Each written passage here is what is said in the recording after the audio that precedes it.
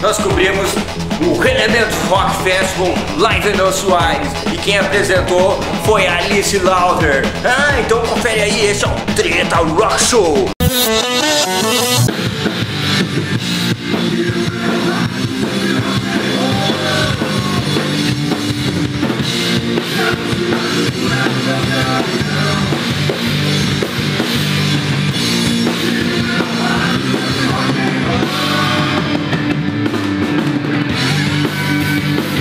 Aí galera, eu tô aqui com a Doze Duro, banda da casa. Bom, eu tô sabendo que vocês já estão na estrada bastante tempo, sete anos, né? E eu queria saber da formação de vocês atual. Soube que teve algumas modificações. Me fala um pouquinho. É, nós já, já estamos na estrada aí sete anos, comemoramos agora em maio. Essa formação aqui, nós quatro, Dudu, Dudu na guitarra e vocal, João de batera, eu no baixo e o Machadada na guitarra, praticamente desde outubro do ano passado, setembro, outubro do ano passado.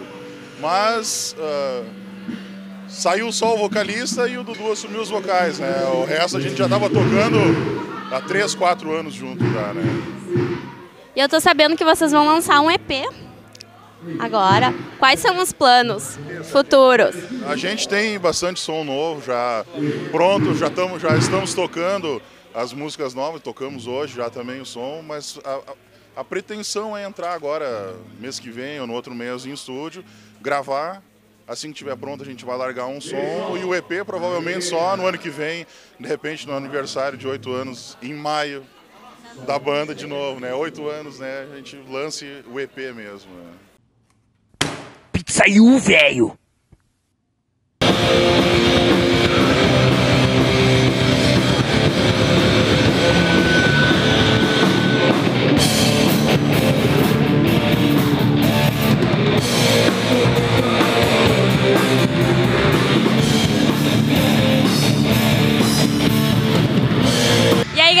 Tô aqui com a banda Cicatrizes no Elemento Rock Festival. E eu queria pedir para vocês apresentar a banda pra gente. Bom, a gente é uma banda de Novo Hamburgo, a gente faz um metalcore, um metal com mais peso, assim, que é o que a gente gosta, né? E uh, a gente veio aí tentar fazer o melhor do que a gente pode, né?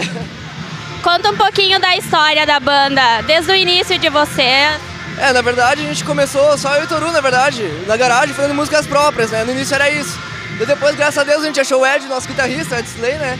Inclusive eu tenho um trabalho próprio também de música instrumental o Gilberto, o Guilherme também. E, uh, mas é isso, resumidamente é isso. Daí, desde lá a gente tá mais pra música própria do que cover, né? Hoje em dia a gente mistura um pouco, mas sempre no mesmo gênero, metalcore e tal.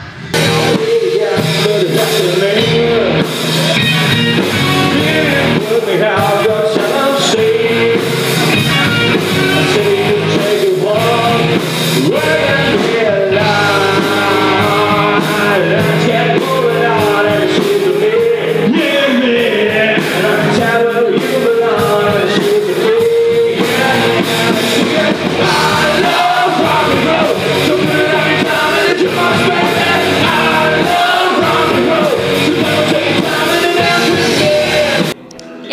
tô aqui com a banda Hipercubo. Então, eu gostaria de saber quanto tempo vocês têm a banda. Desde 2006. Ano que vem faz 10 anos de banda. Quais são as influências de vocês? Vocês vão mais pro hard rock? Estilo?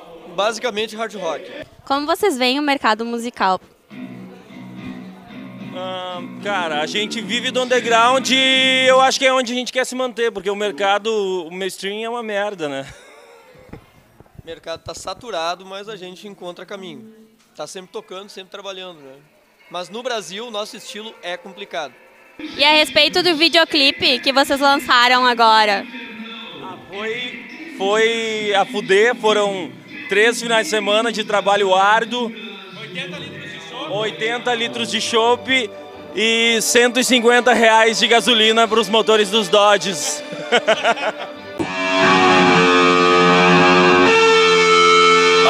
Beer, a cerveja do rock.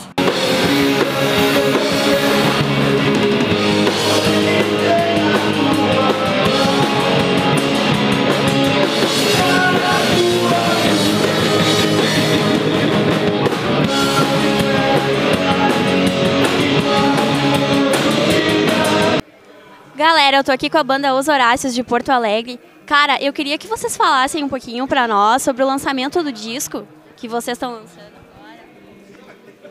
Ok, bom, nós, nós, nós estamos aqui pela, sei lá, né, acho que é o, sei lá, a oitava vez, né? É, desde 2006 a gente toca aqui em Venâncio, a banda tem 13 anos, né? E agora a gente está lançando aqui o Bem-vindos às Aventuras no Bordel Royal. Na verdade a gente lançou ele ano passado aqui já, mas ele estava recém ali no, no iníciozinho ali de, de turnê. E hoje eu acho que a gente já deve estar tá chegando aos 50 shows desde então, desde julho do ano passado. E, e agora estamos já gravando o quarto disco, que deve ser lançado no início do ano que vem, assim. E esse disco, Bem-vindo às Aventuras no Bordel Royal, foi produzido pelo Rafael Heck, da Tequila Baby. Esse, o quarto também vai ser produzido por ele. É sempre um prazer tocar aqui em Venâncio e lançar o disco aqui. Uou! E aí galera, gostaram do programa? Então manda um recadinho lá pra Alice, pra ela ficar feliz e tal. E curtam, compartilhem o programa. E esse é o Treta Rock Show, porque você sabe, rock and roll dá um tempo, volta! né? semana que vem.